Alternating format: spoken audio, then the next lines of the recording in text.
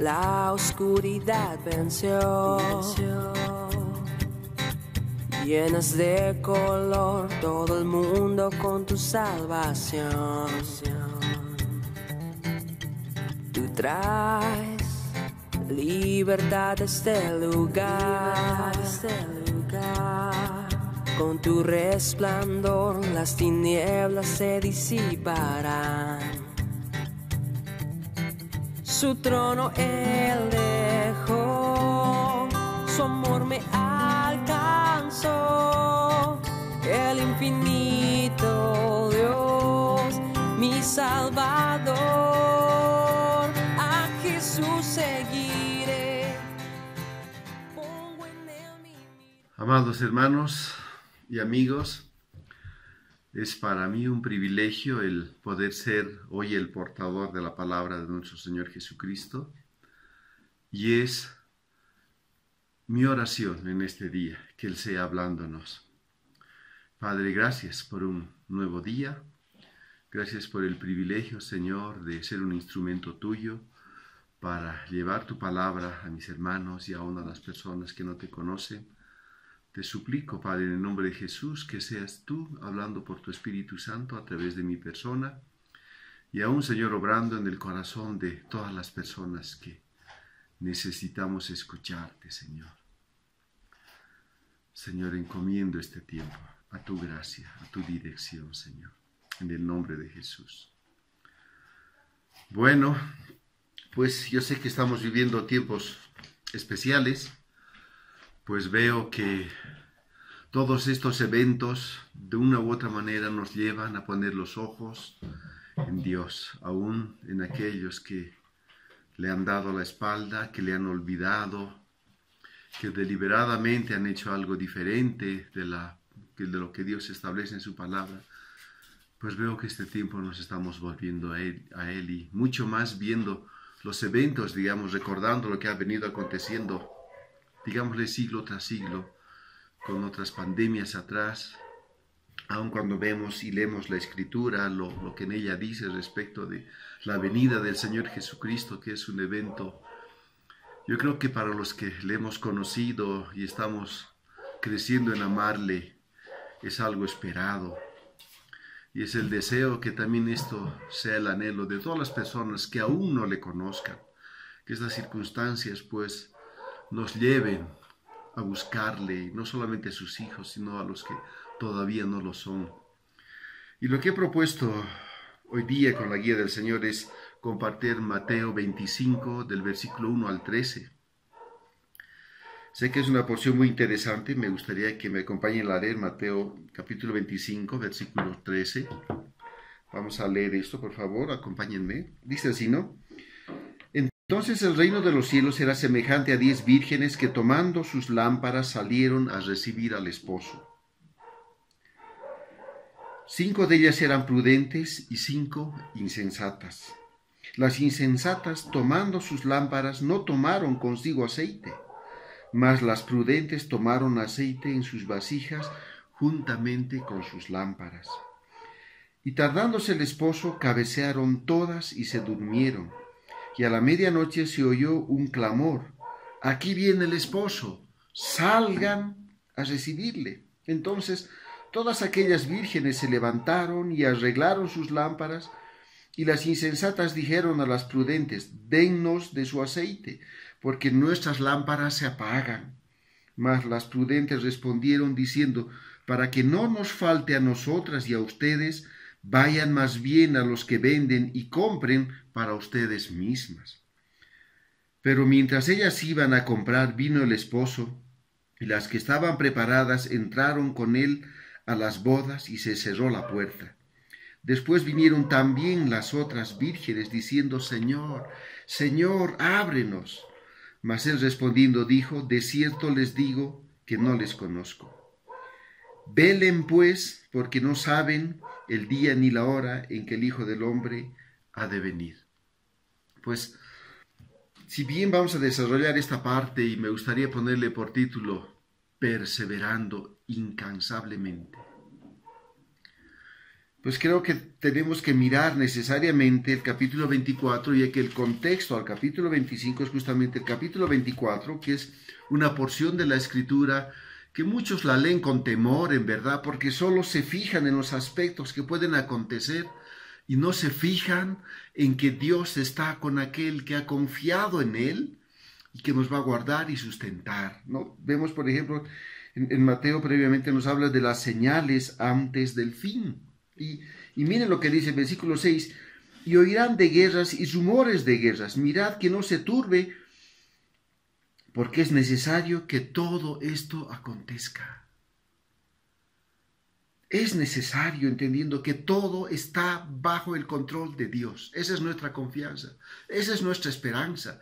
Eso es lo que inclina nuestro corazón a Dios a confiar en Él y a esperar de Él misericordia en tiempos difíciles, a pesar de lo que describe posteriormente versículo 7 dice, ¿no? Porque se levantarán nación contra nación, reino contra reino, pestes y hambres y terremotos en diferentes lugares, y se entregarán los unos a los otros, dice, no muchos tropezarán y se entregarán unos a otros, y, se levantarán, dice, muchos falsos profetas. Y, miren lo que dice el versículo 13, más el que persevere hasta el final, ¿qué dice? Ese será salvo. Es, es necesario que el creyente tenga un corazón dispuesto a perseverar en el camino del Señor. ¿Saben por qué? No caminamos solos. Dios está con nosotros.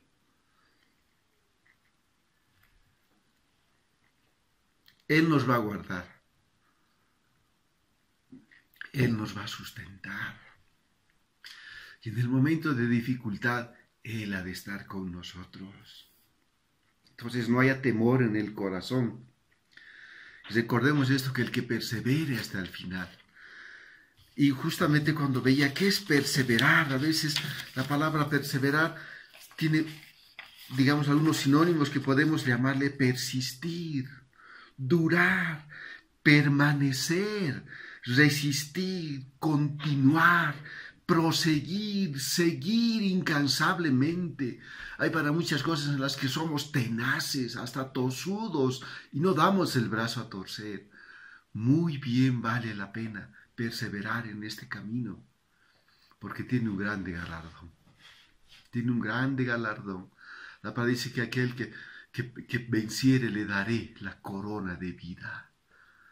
Yo creo que vale la pena pasar por las cosas que posiblemente atravesemos si es que ya no hemos atravesado por muchas otras y perseverar en el camino del Señor, porque hay un galardón.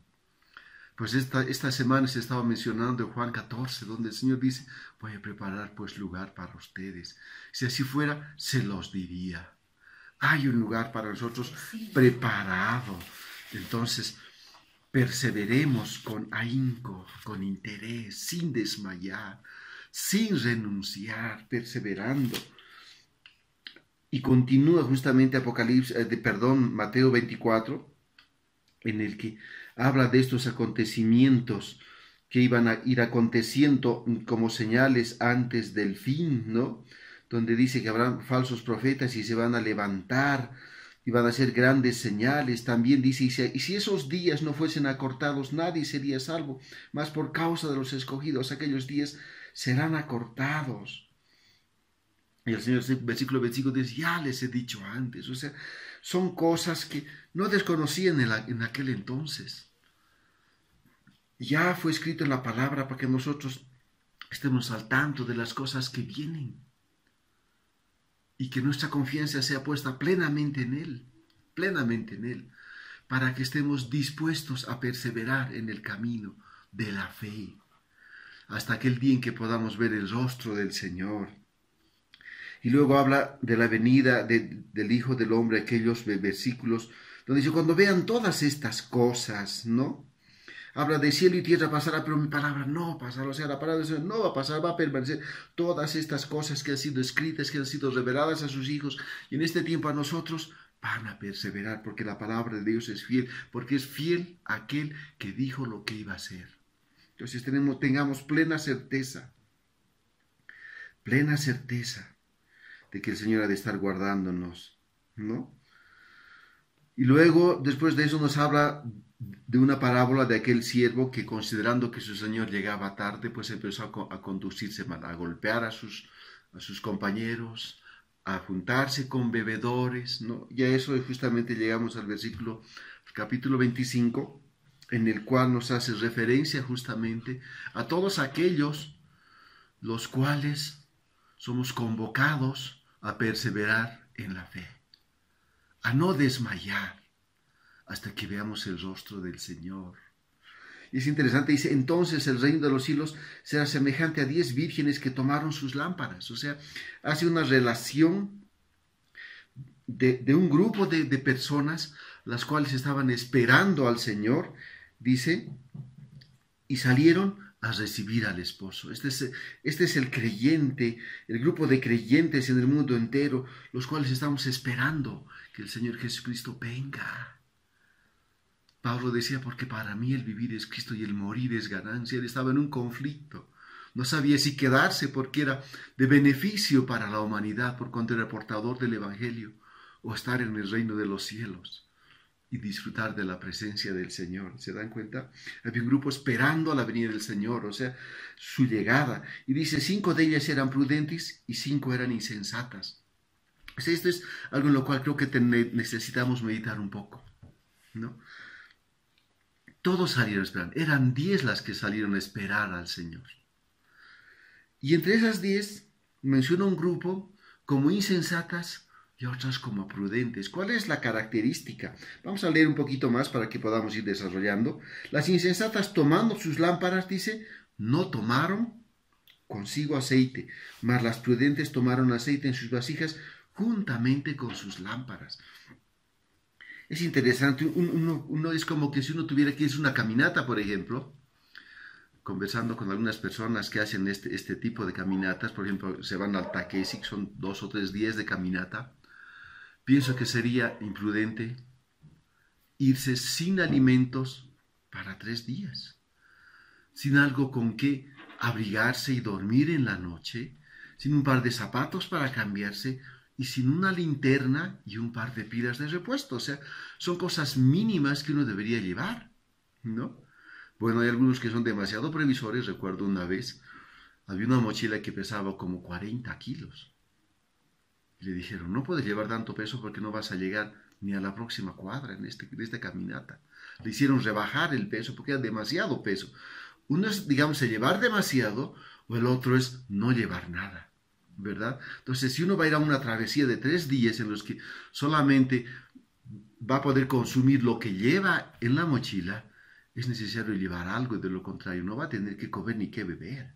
Entonces, vemos que estas lámparas, estas, perdón, estas eh, vírgenes, cinco fueron prudentes, llevaron lo necesario para proveerse y poder esperar la vida del esposo. Llevaron sus lámparas con aceite de tal manera que una vez que iba a estar disminuyendo la llama iban a aumentar o iban a humedecer a fin de que permanezca la luz. En cambio las otras seguramente cargaron sus, sus lámparas y se fueron con aquello considerando que posiblemente llegaba muy pronto o no preveyeron que en un momento determinado podía agotarse esto. Ahora, esta es una figura muy interesante para mí, ¿no?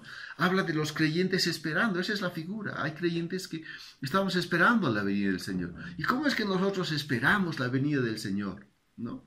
O sea, quisiera que tal vez separemos a las prudentes de las imprudentes. ¿Qué debería ser el creyente prudente que está esperando al Señor? Debería ser una persona que justamente está leyendo la escritura, está orando, es alguien que se está congregando regularmente, es alguien que está sirviendo al Señor Jesucristo, es alguien que está llevando el Evangelio del Señor, es alguien que tiene una vida activa de servicio al Señor. ¿Se dan cuenta? Es alguien que está buscando continuamente de Dios para que su presencia no falte. ¿No? Para que no nos falte la presencia del Señor. ¿Cómo son los imprudentes? Voy a comparar, bueno, en mis tiempos era así, ¿no? Cuando teníamos examen no estudiábamos días antes. Generalmente estudiamos día antes o noche antes o horas o minutos antes para el examen. ¿Cuál era la desventaja de esto? Qué diferente es cuando uno toma un tiempo para meditar, para leer, para memorizar, para aprender, ¿verdad? Eso queda. Pero qué diferente es cuando alguien hará lo que ha hecho simplemente para aprobar el examen. Aprobó el examen, pero después se olvidó lo aprendido. Entonces, ese es un aspecto que hay que cuidar. Entonces, eso es algo que nosotros tenemos que ver, ¿no? ¿Quiénes se conducen así? O sea, los creyentes que estamos esperando al Señor, perseveramos en el camino de la fe, perseveramos en buscar al Señor, perseveramos en servirle al Señor, perseveramos en aprovisionar aquella gracia que Dios ha provisto para nosotros hasta el día en que llegue para que no nos falte la vida del Señor en nosotros. Y esto se hace cada día, durante el día, los 365 días del año. Hermanos, no sé a cuánto les ha pasado este tiempo que nos ha tocado quedarnos guardaditos en casa. A ratos parece vacaciones y dan ganas de no hacer nada en casa. ¿Les ha pasado? Comer, sí, descansar, mirar algún programa de televisión, pero a veces hay que tomar fuerzas para orar, para leer la palabra, para estudiar la escritura. O sea, esto parece vacaciones. Y de pronto eso puede empezar hoy, continuar mañana y los próximos días y de pronto hemos dejado de aprovisionar la gracia de Dios en nuestras vidas cotidianamente. Y cuando veamos una circunstancia, ¿y ahora qué hacemos? Hay que orar, hay que buscar, hay que pedir perdón. No, y de pronto nos, nos ponemos en ese afán. Y de ser prudentes, pasamos a ser imprudentes. Porque estas diez vírgenes que iban, todos ellos iban a esperar al Señor. Unos iban provistos de la gracia de Dios y otras simplemente llevaban aquello que pensaban que les iba a salvar el momento. O sea, se dan cuenta que qué bonita enseñanza tiene la escritura. Es por eso que les decía, pues vamos a perseverar incesantemente perseverar, porque la perseverancia tiene un gran galardón, una corona de vida, un lugar para nosotros en el reino de los cielos. No sé cuántos de nosotros estamos anhelando aquel lugar. Jesús le dijo al Padre Juan 17, donde yo estoy, quiero que ellos también estén. Y yo veo que cuando, bueno, si la escritura menciona algo una vez, eso es verdad, porque Dios es fiel. Pero si escribe más de una vez, debía afianzar mucho más esa confianza en nuestro corazón, ¿verdad? Entonces, vemos eso, que vemos las insetas toman sus lámparas, no tomaron consigo aceite, mas las prudentes tomaron aceite en sus vasijas y juntamente con sus lámparas. Y tardándose el esposo, cabecearon todas y se durmieron. Bueno, hemos leído el versículo eh, 24, 36, dice, pero el día y la hora nadie sabe, ni aun los ángeles, los ángeles de los cielos, sino solo mi Padre. Absolutamente ninguna otra persona, ni ángel, ni ser creado, sabe cuándo viene el Señor Jesucristo, sino solamente el Padre. Entonces es la razón por la cual se alentaba a perseverar, porque no sabemos. Ha habido personas que se han equivocado en cuanto a fechas en las que decían el Señor Jesucristo viene tal fecha, se equivocaron. Miren, vamos al versículo 42 del capítulo 24, por ejemplo, velad pues porque no saben a qué hora ha de venir su Señor. ¿No? Pasamos al versículo 44, por tanto, también ustedes están preparados porque el, porque el Hijo del Hombre vendrá a la hora que no lo piensen. Vamos al versículo 50. Dice, vendrá el Señor de aquel siervo en el día en que éste no espera y a la hora en que no sabe. No solamente tenemos un versículo, tenemos más de uno, el cual afirma que no sabemos cuándo viene el Señor. Entonces, nos toca perseverar, esperar hasta el día de su venida. Es posible que veamos en este tiempo, digamos en, en el 2020, es posible que veamos el 2030 es posible que algunos durmamos sin ver la segunda venida del Señor, pero eso no implica que Él no ha de venir. Él ha de venir en el tiempo en el cual el Padre ha provisto que el Señor Jesucristo venga por su iglesia. Entonces, si no viene hoy, si no viene mañana, si no viene pasado, nosotros perseveremos, porque este hecho, de todos modos, el Señor lo ha de cumplir, porque esa es su promesa, ¿cierto? Esa es su promesa. Entonces, y tardándose el esposo, cabecearon y todas se durmieron. Bueno, se agotaron, se cansaron, se rindieron, ¿no? Es algo que muchas veces nos acontece, pero hay ánimo siempre en el corazón. Hay muchos que sencillamente se resientan, se deje, se resienten, perdón, se dejan llevar por la amargura y claudican, ¿verdad? Pero a nosotros nos toca perseverar. Diciendo, y a la medianoche soy yo un clamor. Dice, aquí viene el esposo, salgan y recíbanle. Es la llamada, es, el anuncio de la venida del Señor. A que aquellos que estaban esperando tenemos que salir. Ahora, este es un aspecto en el cual, cuando dice habla de salgan, las que estaban esperando estaban en algún lugar, no estaban a la intemperie. Eso es lo que puedo entender. ¿No? Ahora, me gustaría tal vez hacer otra figura muy bonita. Es en aquellos tiempos, en aquellos tiempos, o sea, las bodas tenían, digamos, como un proceso, llamémosle, ¿no?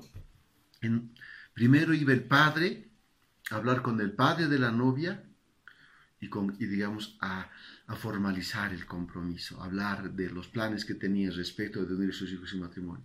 Luego se juntaban las familias para concretar este hecho y este hecho era tan importante que equivalía a un matrimonio mismo. Entonces, una vez que se habían procedido al desposorio, pues no podían ser infieles el uno al otro. Caso contrario, tendrían que seguir el proceso de un divorcio. ¿Se dan cuenta? Entonces, esa era, esa era digamos, la, labor que tenían que realizar en, en, ese entonces. ¿no? Y después de varios meses se celebraba justamente la boda. ¿no? Ahora, cuando vemos esta parte, no menciona exactamente, o sea, cómo fue, porque lo que hacían era, era el novio salir de su casa, con sus amigos, ir a la casa de la novia, recoger a la novia y volver todos juntos y entrar a la fiesta de bodas. Y eso es lo que justamente vemos aquí, que ya estaba volviendo para llevar a cabo la fiesta de bodas. Eso es lo que nos dice, ¿no? Y a la medianoche se oyó un clamor, aquí viene el esposo, a recibirse. Entonces todas aquellas vírgenes se levantaron y arreglaron sus lámparas, ¿no? les echaron aceite, otra vez pusieron la, la, llama fuerte para que alumbre y poder acompañar, digamos, a los que estaban yendo a la fiesta. Y ahí justamente se muestra la condición de las insensatas, ¿no? Cuando uno no ha tomado tiempo para hacer algo, a veces somos capísimos en querer resolver las cosas a último momento. Y eso es demasiado tarde. Y cuando ellas se dieron cuenta seguramente que el aceite que llevaron se les fue acabando, posiblemente sus lámparas o ya se apagaron o se estaban por apagar y necesitaban nuevamente aceite para volverlas a encender. Y bueno, en ello las, las prudentes les niegan darles el aceite. O sea, este es otro punto que, que me pone a pensar, o sea, hermanos, amigos,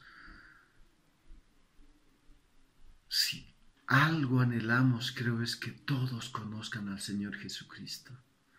Hemos de hablarte del Evangelio, de la importancia de, que te vuelvas al Señor, rindas tu vida al Señor para que Él perdone tus pecados, te dé su salvación, te haga su Hijo y enseñándote sus caminos perseveren hasta aquel día en que Él venga. ¿No? Yo puedo enseñarte para que en un momento dado tú busques al Señor. Pero mi búsqueda no te va a salvar. Mi arrepentimiento no va a hacer que te perdone tus pecados. Mi confesión de pecados no te va a brindar salvación. Es un aspecto totalmente personal, completamente personal. Entonces, mi fe no te va a ayudar. O sea, yo puedo enseñarte lo que el Señor me ha enseñado, Puedo transmitirte la palabra con mucho gusto el tiempo que sea posible. Pero si tú no has buscado al Señor, si no le has si no has reconocido tus pecados y te, has arrepentido de ellos y le has reconocido como Señor, como Salvador, para luego ser perdonado, ser recibido como hijo y ser beneficiario del Espíritu Santo de Dios, nada puedo hacer yo por ti. Entonces, eso es lo que dijeron, mas las prudentes respondieron diciendo, para que no nos falte a nosotras y a ustedes, vayan más bien a los que venden y compren para ustedes mismas. Imagínense, era la medianoche, era las doce de la noche. Se necesita ser un tanto ingenuo, digo yo, para salir y buscar aceite a esa hora. Es una hora en la que todos están durmiendo, ¿cierto? Están durmiendo. O sea, no hay, no hay aquellas tiendas o bazares que puedan venderte ese producto a esa hora de la noche. Y qué triste es buscar algo en un momento en el cual no lo vas a hallar. ¿Verdad? Porque ya es tarde. Son horas en las que no se busca aceite.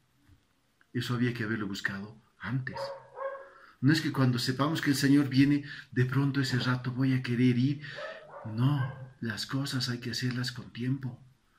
Veo en la palabra que el Señor nos ha dado la oportunidad de acercarnos a Él con mucha anticipación.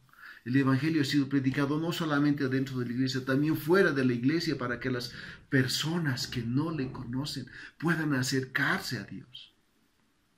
Entonces, este es el tiempo, este es el tiempo en el cual podemos buscar a Dios. En su palabra dice en Isaías 55, dice, búsquenle en tanto que pueda ser hallado.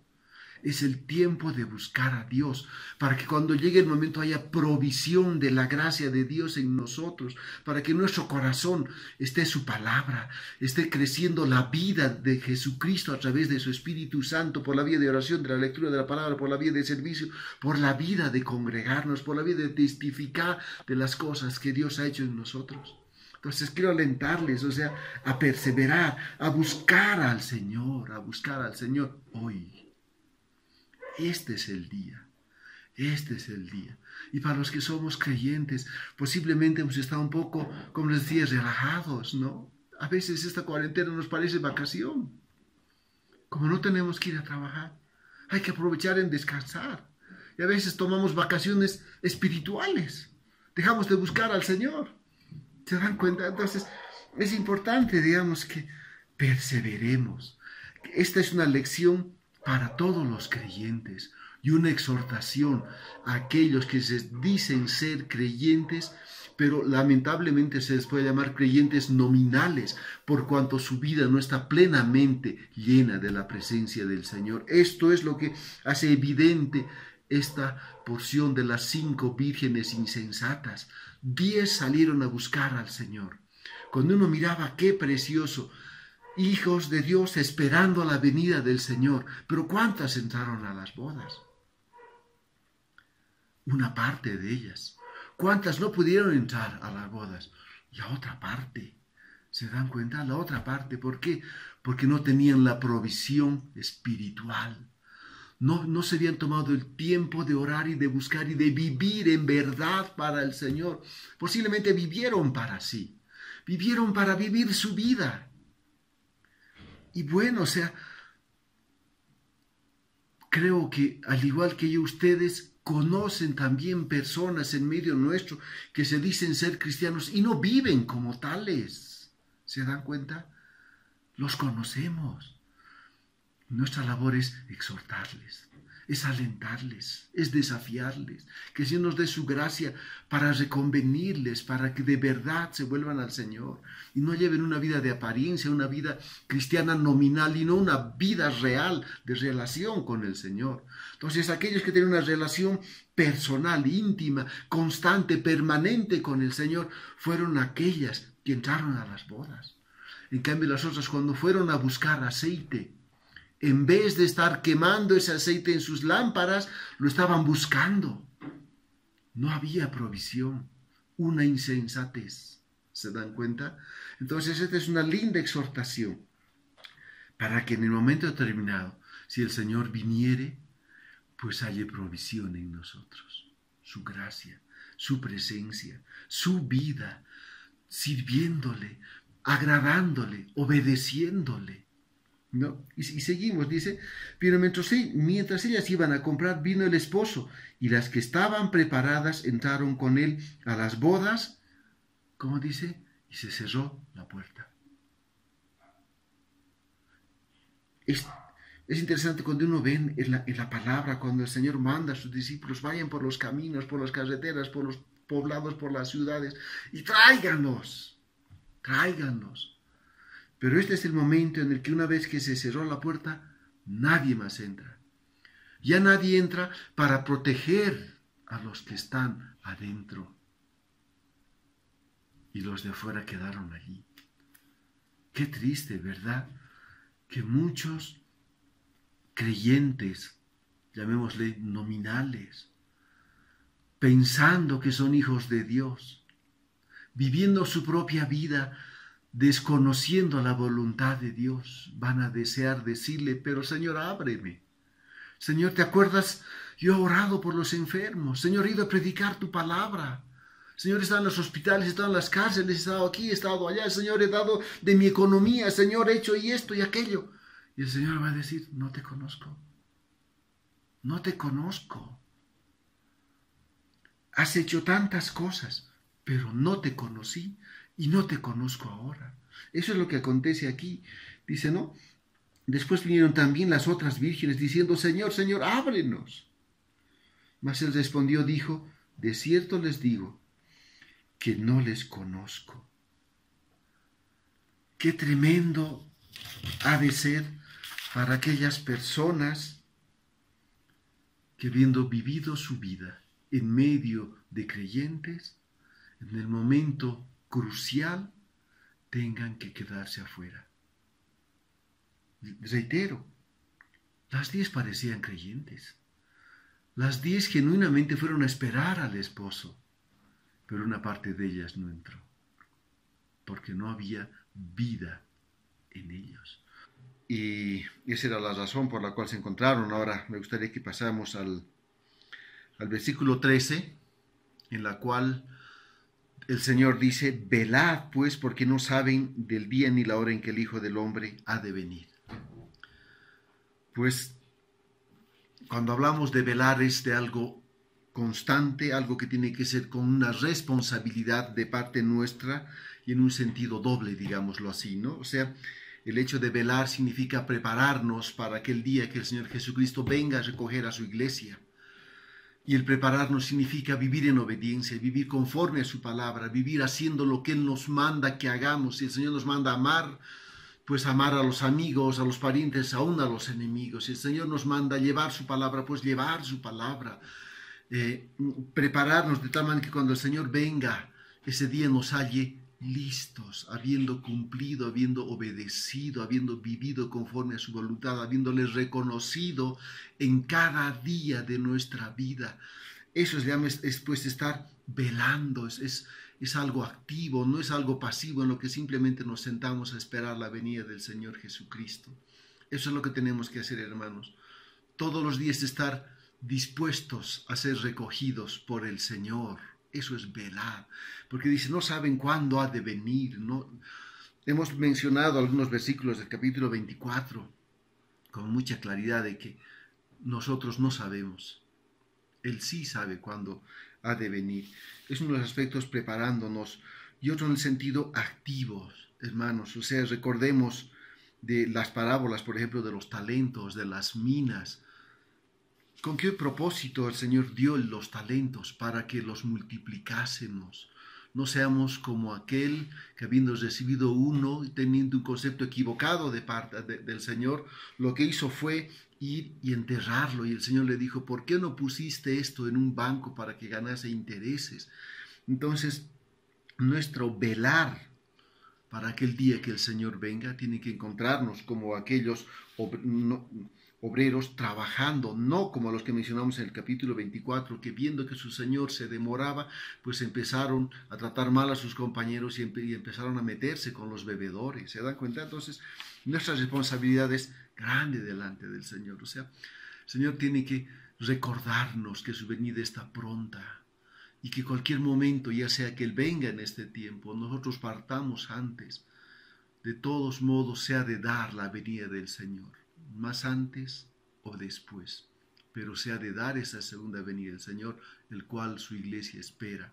Entonces quiero alentarles, hermanos, a velar, ¿no? Y aún a reflexionar sobre todo lo que hemos compartido. Si los creyentes estamos un tanto rezagados, flojitos, pues tiene que ser una vida de relación con el Señor. Y aquellos hermanos que se han conformado con ir el domingo, escuchar alguna prédica, orar de vez en cuando, leer alguna, alguna porción bíblica, no seamos insensatos. Se trata de una vida real, no de una vida nominal, no de aparentar algo, se trata de ser algo, de tener una relación con Dios. Entonces consideremos esto y yo quisiera pedirles que podamos orar. Vamos a orar a aquellos que, para que el Señor nos provea gracia, fortaleza, para el día de su venida nos encuentre listos para irnos con Él, preparados, y no como las insensatas. Señor, queremos darte gracias por este día. Señor, muchas gracias por tu palabra, Señor. Señor, gracias porque a través de ella nos hablas, entendiendo que tú no quieres que ninguno de aquellos, Señor, que dice conocerte se pierda. Señor, tú has muerto en la cruz por la humanidad entera. Entonces, ese es tu corazón, la salvación de todos nosotros, Señor, de toda tu creación. Y oramos, Señor, para que los que te conozcamos perseveremos activa, Señor, incansablemente hasta el día de tu venida. Y aquellos, Señor, que hasta ahora han caminado de una manera relajada, o como les hemos mencionado, cristianos nominales, Señor, viviendo un cristianismo a su manera y no conforme a tu voluntad, no obedeciéndote, no siguiendo tus instrucciones, tu palabra, Señor. Oramos que tú en verdad puedas redarguir y convencer, Señor, tanto a los unos como a los otros. Y a ti, amigo que estás viendo, que aún no has conocido al Señor, quiero hacerte una invitación Tú puedes ir hoy a tu habitación a solas o donde te encuentres. Puedes postrarte delante del Señor, diciéndole, Señor, te reconozco como el único Dios, como el único Salvador, como el amo del universo. Reconozco que hasta ahora he caminado bajo mis propios principios, bajo mis propias normas, mis propias leyes, ignorando las tuyas. Pídele perdón a Dios. Él es amplio en perdonar. Él va a perdonar tus pecados. Te va dar aquella salvación que Él ha prometido, que ha provisto además a través de su Hijo Jesucristo. Y hay una promesa más para todos aquellos que creen en Él. Tenemos la promesa del Espíritu Santo que va a ser aquel que nos ayude en el camino hasta el día en que veamos su rostro. Que el Señor bendiga a cada uno y que el Señor les fortalezca. Reino, la oscuridad venció. venció Llenas de color todo el mundo con tu salvación. Tú traes libertad a este lugar. Con tu resplandor las tinieblas se disiparán. Su trono él dejó, su amor me el infinito Dios, mi Salvador. A Jesús seguiré, pongo en él mi mirada, veo su gran amor, canto sus alabanzas, a Jesús seguiré.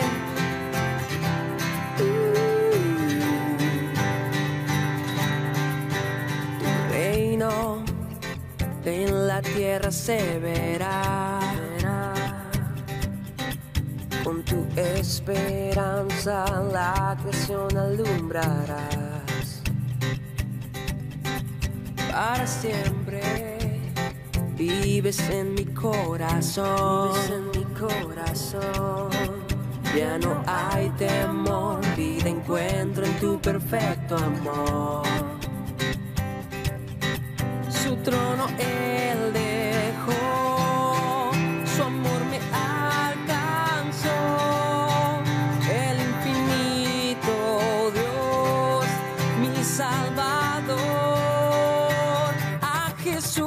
seguiré.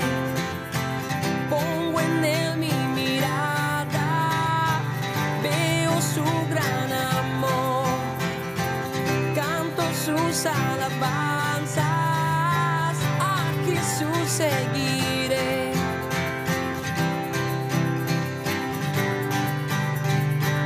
A Jesús seguiré.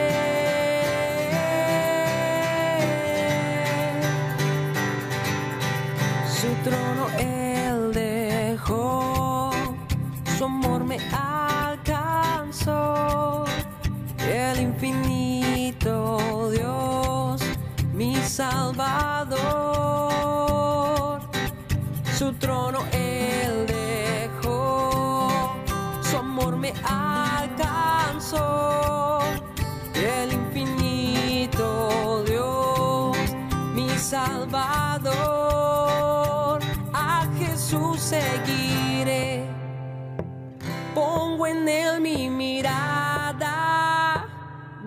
su gran amor, canto sus alabanzas, a Jesús seguiré. Pongo en él mi mirada, veo su gran amor, canto sus alabanzas, a Jesús seguiré.